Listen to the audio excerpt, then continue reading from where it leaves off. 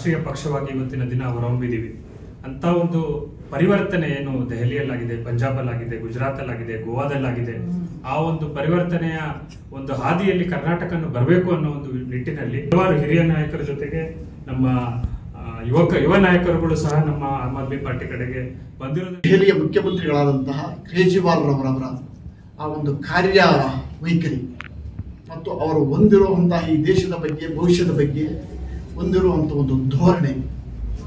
ಮತ್ತು ಅವರು ಜನಸಾಮಾನ್ಯರಿಗೆ ಮಾಡ್ತಾ ಇರುವಂತಹ ಒಂದು ಸರ್ವಸಮ್ಮತವಾದಂತಹ ಒಂದು ಕಾರ್ಯವೈಖರಿ ಅವರ ಒಂದು ಸಿದ್ಧಾಂತವನ್ನು ನಾವು ನಂಬಿಕೊಂಡು ಮತ್ತು ತುಂಬ ವಿಶ್ವಾಸದಿಂದ ಈ ಪಕ್ಷವನ್ನು ನಾವು ಸೇರ್ತಾ ಇದ್ದೇವೆ. ಇವ್ರು ಆಮ್ ಆದ್ಮಿ ಪಾರ್ಟಿ ಡೆಲ್ಲಿಯಲ್ಲಿ ಹೋಗಿ ನೋಡು ಎಂತ ಫ್ರೀ ಟ್ರಾನ್ಸ್ಪೋರ್ಟ್ ಅದು ಇದು ಫೆಸಿಲಿಟೀಸ್ಗಳು ಬಡವರು ಹಿಂದ್ಗಡೆ ನಿಂತಿದ್ದಾರೆ ಝೀರೋ ಕರಪ್ಷನ್ ಆಗಿದೆ ಅಲ್ಲಿ.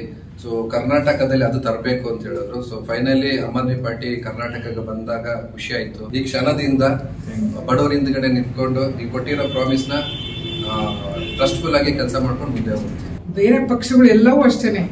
Old wine in new bottle ಅಂತಾರಲ್ಲ ಅದೇ ಥರನೇ ಎಲ್ಲ ಭ್ರಷ್ಟಾಚಾರ ಕೂಪುಗಳು ಅವ್ರಿಗಿಂತ ಇವ್ರು ಸ್ವಲ್ಪ, ಇವ್ರಿಗಿಂತ ಮೇಲೂ ಇತ್ತು ಇಲ್ಲಿಂದ ಇವ್ರು ಸ್ವಲ್ಪ ಎಲ್ಲವೂ ಕೂಪ ಮಡಕುಗಳಾಗಿದ್ದಾವೆ. ನಮ್ಮ ರಾಜ್ಯದಲ್ಲೂ ಕೂಡ ಆಮ್ ಆದ್ಮಿ ಪಕ್ಷ ಬರಬೇಕು ಅಂತ ನಾವು ನಮ್ಮ ಹತ್ರ ಎಲ್ಲ ಸೇರ್ಕೊಂಡು ಎಲ್ಲರೂ ಯೂತ್ಸ್ ಮುಂದೆ ಬರಬೇಕು. ಅವ್ರಿಗೆ ಎಲ್ಲ ತಿಳುವಳಿಕೆ ಕೊಡ್ಬೇಕು. ಮತ್ತು ಮೇಯ್ನ್ ಭ್ರಷ್ಟಾಚಾರ. ಅದೇನೆ, ಯಾವುದೇ ರಂಗದಲ್ಲಿ ಹೋಗಲಿ, ಲಂಚ ಅವತಾರಗಳು ಇದ್ದಾವೆ. ಅದನ್ನ ಮೂಲ ತೊಡೆದಾಕಿದ್ರೆ ನಮ್ಮ ದೇಶ ಸುಭದ್ರವಾಗುತ್ತೆ. ನಾವು ನ್ಯೂ ಯೂತ್, ನಾವು ಹೇಳೋದಕ್ಕಿಂತ ಮಾಡಿ ತೋರಿಸ್ಬೇಕು ಅನ್ನೋದು ಒಂದೊಂದು ಛಲ ಇದೆ. ಸೊ ಅದನ್ನ ನೀವು ಯಂಗ್ ಯೂತ್ಗೆ ನೀವು ಒಂದು ಸಾಥ್ ಕೊಟ್ಟಿದ್ದೀರಾ?